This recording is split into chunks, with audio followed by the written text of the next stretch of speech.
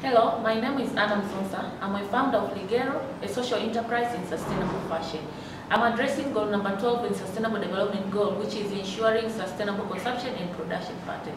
At Ligero, we are doing recycling of fabric scraps to make several products. Our main focus is on learning materials for early childhood education. We make books, we make pictures, we make toys and dolls and several shapes for early childhood education.